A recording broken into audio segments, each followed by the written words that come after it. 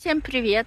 Ви на каналі Українки, которая сейчас знаходиться в Германії. Або всім привіт! Ви на каналі Українки, яка зараз знаходиться в Німеччині. В Німеччині я працюю і вивчаю мову. Свої влоги я переважно веду російською мовою, так що вибачайте, будь ласка.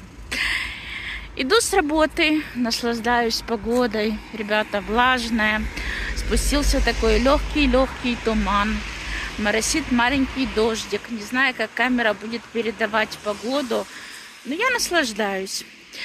Несмотря на то, что у меня немножко устали ноги, немножко я сегодня приморилась. Сегодня у нас какой день? Вторник. Я работала сегодня 8 часов. Меня попросили поработать дольше. Ну, так получилось. Нужны были люди, наверное, либо кто-то заболел, кто-то не вышел.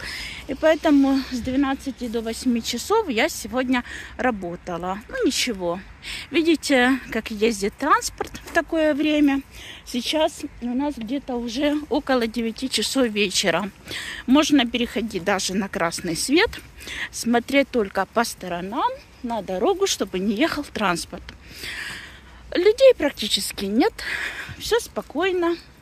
У нас здесь тут вот, спокойный райончик. Как он называется, ребят, не знаю. Вот там вот вдалеке, получается, Эльбы парк светится.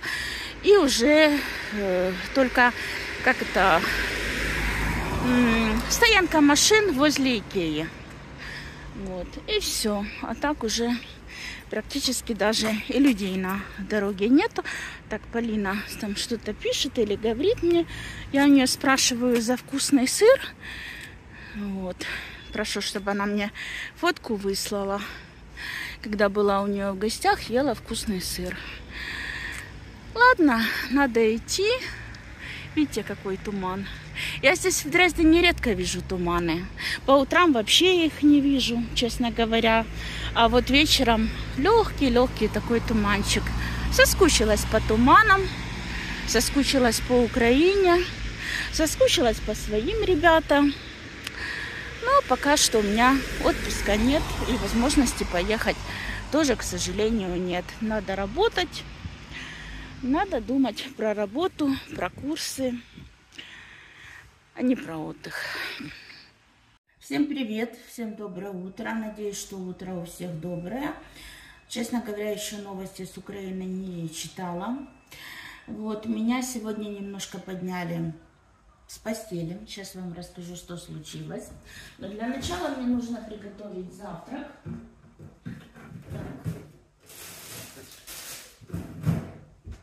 Вот она я. На завтрак я уже какой день подряд, третий, наверное, или какой, ем овощи. То с креветками, то вчера начинку поменяла. Начинку, да? Так, это мне лампа мешает для того, чтобы достать тарелочку. Сейчас, минуточку. Такие вот овощи я вам уже показывала. Так, порция овощей. Сейчас я их на сковородку сюда, на маленькую, с подсолнечным маслом, и будет вкусно. Солить не буду. Э, живу, ребята, здесь, в этой квартире, без э, добавления соли. Не солю то, что готовлю, да. Уже какой день? Второй получается. Сегодня второй полноценный. Пока что нормально. Сейчас включу духовку, вернее, духовку, плиту. Извините, ребят, я сегодня тороплюсь. Вот, поэтому немножко так сумбурно. Все. Теперь надо выключать камеру.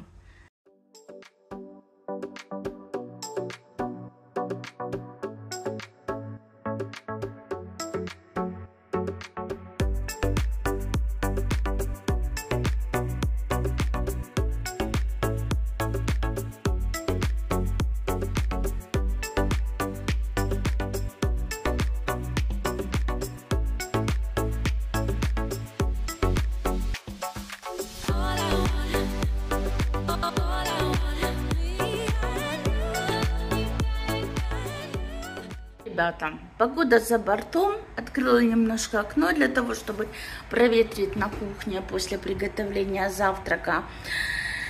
Наверное, либо мелкая морось, либо был мелкий дождь, в общем, не знаю. День пасмурный, не солнечный. Смотрю наших девчонок, которые в Германии. Юля, тебя сегодня смотрела, как вы в лес ходили, гуляли. Жалуются наши украинцы, что климат не подходит что климат не тот, не такой, как в Украине. Я не знаю, мне не хватает немножко снега, мне немножко не хватает таких вот умеренных морозных зим со снегом именно. Хотя в Украине тоже были разные зимы. И вот последнее время э, помню, что у нас Новый год, как правило, был бесснежный. Ждали снег, а снега не было. Либо он выпадал, потом расставал, и Новый год встречали без снега. По-разному было. Э, климат меняется, естественно, глобально по всей земле, поэтому как-то так. Имеем, что имеем. Были и солнечные дни в Дрездене, вот сколько у нас было дней солнечных, наверное, дня 3-4 были точно солнечные дни. Так что, ну, что менять на погоду? Погода как погода. Вот. Лето было в прошлом году не очень удачное, были очень жаркие дни. Э, здесь жара вот такое вот пекло, плюс 31, плюс 32 или даже плюс 33, по-моему, было. Переносится, ребята, не очень, некомфортно. Я вообще не сильно люблю такую сверх, э, сверхжаркую погоду. То есть все, что больше, наверное, или выше плюс 27-28, э, наверное, все-таки я лучше переношу возле воды. На работе тоже жарко. Ну, как-то так. А так, в принципе, нормально. Не знаю, я особо не жалуюсь. Зак... А, зачем закрываю окно? Пускай еще проветривается. Уже привычка выработалась. Показала погоду, закрыла окно. Нет, не холодно. Ну как, я не знаю, сколько градусов. Может быть, градусов 5-6. Но это с утра. Может быть, днем будет теплее. Так, буду завтракать. Мой прекрасный завтрак. Ребята, соль не добавляла, никакой дополнительный э, соус не добавляла. Почему? Потому что здесь сосиски. Сосиска соленая, вернее, одна сосиска. Вот, и мне э, содержание соли хватит с головой.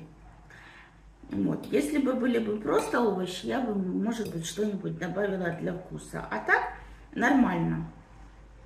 У меня сегодня очень сумбурное и такое быстрое, активное и меняющееся утро. Сейчас объясню почему. Я еще в постели смотрела видео, смотрела видосики, как обычно утром у меня это все дело начинается. И тут мне написала менеджер с работы. Вот на фоне овощей чувствуется сразу контраст. Насколько соленая сосиска. Мне написала менеджер с работы, а, можешь ли ты выйти на работу сегодня э, с 10.30 до... А, нет, она мне написала сначала э, с 15.00 до 20.15, то есть до конца. Я ей ответила, что нет, не могу, к сожалению потому что у меня курсы, которые начинаются сегодня э, в половине шестого. Она мне пишет, окей, э, выйди, пожалуйста, тогда с 10.30 до 16.30. Э, Хорошо, ну, могу выйти, значит, выйду в такое время. Хотя у меня были планы на сегодня. Потом, вот буквально, когда я готовила завтрак, написала, что с 12 часов и до 17. Я ей пишу, нет, только до 16.30, потому что я не успею доехать до, на курсы. Вот. У меня сегодня были совершенно другие планы. Я сегодня планировала немножко пожить какой-то, знаете, более размеренной жизнью, э, поваляться, вот, вымыть голову. Но я вымыла голову так, более-менее привела себя в порядок. Экспресс-укладка у меня такая была, быстро-быстро, полюбите трубочисто. чисто. Э, вот, когда узнала, что меня просят выйти на работу. Планировала, так сказать, до курсов почистить духовку, попытаться с этим новым средством. Но, к сожалению, э, наверное, я не буду это делать, хоть и на работу я пойду, скорее всего, на 12. Э, Вот. Ну, на 10.30 уже точно не пойду, раз так написала, значит, пойду на 12. И с духовкой заниматься сегодня уже не хочу. Вот как-то так. Так все может поменяться. Так все может резко круто измениться. Э, Но я не против, мне нормально. Я, если я могу по времени, почему я должна отказываться? Мне этот день потом отдадут. Э, Вот и все. Как-то так, ребята. Я к этому отношусь, ну, как к работе. Работа есть работа. Работа это хорошо, работа это деньги. Э, Кстати, мне вчера э, Владимир Григорьевич написал вам привет большой, что YouTube не стоит тех трудов и тех денег, которые ты потом в результате зарабатываешь. Нет, стоит, стоит.